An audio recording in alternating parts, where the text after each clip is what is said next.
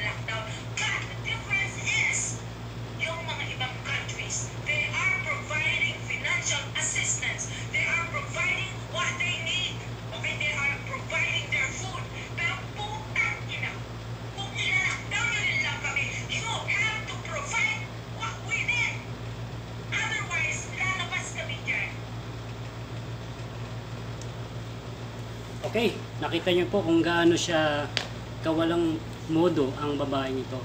Nais ko lamang pong ipaalam kay Mystica na hindi lamang po ang Pilipinas ang lockdown. Nais ko ipaalam sa iyo na kahit dito sa Saudi Arabia ay lockdown din po kami. At wala po kami nare-receive na anumang relief good. Wala po kaming nare-receive na anumang relief good. Pero hindi namin sinisisi ang gobyerno. No? Kasi ang tungkulin ng gobyerno ay pangalagahan ang nakakaraming tao. No? Actually, mas napaka-laki nyo nga dyan sa Pilipinas. No? dahil ang gobyerno po natin ay hindi nagpapabaya at ipinoprovide yung pangangailangan ninyo. No? May relief good kayo, may 8,000 pa kayo. Nais kong ipaalam kay Mystica na hindi lamang ikaw ang tao sa mundo. Hindi lamang ikaw ang tao sa Pilipinas. No? Maraming mga tao na na apektado rin ng COVID-19. No? Maraming bansa, buong mundo ay lockdown dahil sa COVID. Maraming nagsasuffer din dahil sa COVID. Kami rin dito, dito sa Middle East ay apektado rin ng COVID. No? Pero kami ay buong pusong sumusunod sa utos ng gobyerno. Never namin inaccuse ang gobyerno. Dahil alam namin na walang may gusto dito sa virus na ito. Kung meron ka mang sisihin, mistika, sa sitwasyong ito, ay ang virus. Hindi hindi yan ginusto ng sino mang gobyerno. Sana naman ay nakapag-isip-isip ka, no? Yung mga pagmumura mo sa elected ng tao, no? Minura mo yung ama ng bansa. Dinisrespeto mo o disrespect mo yung hinalal ng tao. Sino ka para magmura sa presidente? Ano ba ang nagawa mo sa Pilipinas na malaking bagay na pwede kang magmura sa mahal naming Pangulo? Ano ba ang nagawa mo sa Pilipinas para ipagmalaki mo at pwede mo nang murahin ang presidente? Kung ayaw mo sa presidente, manahimik ka na lang pero huwag kang magmumura. No? So dapat ay bigyan ng less leksyon itong babaeng ito, no? Dapat ay magsampa ng demanda ang gobyerno laban sa babaeng ito dahil sa kanyang pagmumura. No? Hindi lamang ikaw ang apektuhan ng crisis na ito, no? Maraming tao, no? Ang na lockdown.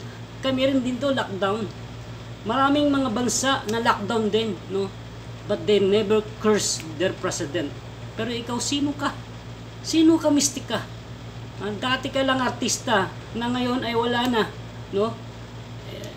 ayoko magsalita pero dana iniisip mo yung sitwasyon natin na dapat imbis na murahin mo ang Pangulo, eh manalangin ka, mag-pray ka, ipanalangin mo yung bansang Pilipinas, no?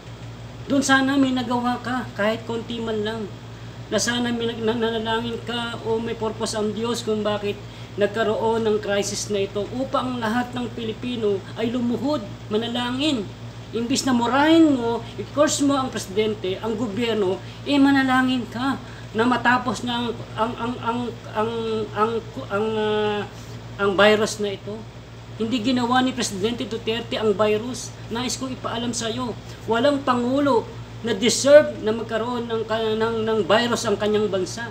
At sino ka para murahin mo ang mahal na Pangulo na inelect ng tao, inappoint ng Diyos? Imbis na tulungan natin ang ating gobyerno, imbis na tulungan natin ang presidente, minura mo pa. Who are you? Sino ka para magmura sa presidente? Ano nakain mo? Ha? Ano nakain mo para kamurahin mo ang presidente? Ikaw kaya, murahin ka ng mga tao, masasayahan ka ba? Di ba hindi? Alam mo kung bakit nagkaganito ang, ang, ang, ang buong mundo? kung bakit nagkaroon ng virus, may dahilan ang Diyos. Hindi lamang ang Pilipinas na selected na nagkaroon ng, ng virus. Lahat ng mundo nagkaroon ng virus. Pero alam mo kung bakit? Kasi nais ng Diyos na tawagin yung mga tao na tumawag sa Kanya, no? manalangin sa Kanya, nakalimutan na siya. Yun ang dapat ang ginagawa mo, Miss Mystica. Na, imbis na murahin mo ang presidente, imbis na i-choice mo si Robredo na wala namang kinalaman sa kalokohan mo, dinamay mo pa yung vice presidente na keso mas gusto mo si presidente Lenny Vice President Lenny Robredo, no? Akala mo ba natutuwa yung vice president na binanggit mo yung pangalan mo at murahin mo ang presidente? Dinamay mo pa siya sa kalokohan mo. May tamang seleksyon sa 2022. Doon ka magkampanya mo yung gusto mong leader pero dapat hindi ka nagmura. No? Walang sino mang na gustong mangyari ang problemang ito. No? Kami, nandito sa sa ibang bansa, nagtatrabaho kami, no? At inutos ng aming ng gobyerno na kami ay lockdown 24 hours, sa bahay lang kami. Sumunod kami. Even the citizen, sumunod. Walang nagreklamo. Bakit? Walang nagreklamo. Bakit? Kasi magreklamo ka dito, subukan mo lang. Subukan mo marahin mo ang leader dito. Ikukulong ka. Ganun, ganun dito. Pero never, no? Never kang magmura sa isang inhinalan ng, ta- ng, ng, ng tao. Pinapakita mo lang na na wala kang respeto, no? Wala kang respeto. Hindi mo nire-respeto. Naalala ko, maging si si Rapi Tulfo minura mo. Sino pong taong ito at bakit ang lakas niyang magmura, no? Ang lakas ng loob mong magmura sa mga tao, no? Buti hindi ka pinapatu- pinatulan ni Rapi Tulfo. na minura mo siya, hindi ka pinatulan. Mali yung ginagawa mo, madam. Sana magkaroon ka ng respeto sa ating ah, mahal na Pangulo. No? Kasi hindi naman niya gusto mangyari ang krisis na ito. At higit sa lahat, hindi lang ikaw ang nagsasakripisyo. Hindi lang ikaw ang nagsasuffer. No? Huwag mong, huwag mong idama yung mga tao, no? Personal mo lang yan na inis, no? Hindi ko lang alam kung nagpapasikat ka dahil wala ka ng project or gusto mo lang ma- mag-viral na naman yung pagmumura mo. Pero hindi mo alam, the more ka nagmumuna, the more na kinukurs mo ang presidente, ano kang lumulubog sa sitwasyon mo. Imbis na kung wala, ayaw mo sa presidente, manahimik ka na lang. Imbis na tulungan natin siya, no? Maraming mga Pilipino na na tumutulong sa pamalaan, no? Pero ikaw, na, ipinapakita mo lang na wala kang pinag-aralan. The way na magsalita ka, magbura ka, napakita lang na na may problema yung utak. Sana ay magbago ka. Bago ka magkaroon ng mas malaking problema sa buhay mo, dapat magbago ka na. Tanggapin natin, mahalin natin ang Pangulo ng Pilipinas dahil inappoint niya ng Diyos. No? Hindi siya magiging presidente kung hindi ka inallowed ng Diyos. Na dapat manalangin tayo, tulungan natin ang bansa, ipagpray natin ang bansa na matapos na yung crisis na ito. Sinisisi mo, presidente, sa sa crisis na ito. At minumura mo pa ang presidente. At tingin mo ba nakakatuwa yung ginawa mo? Hindi.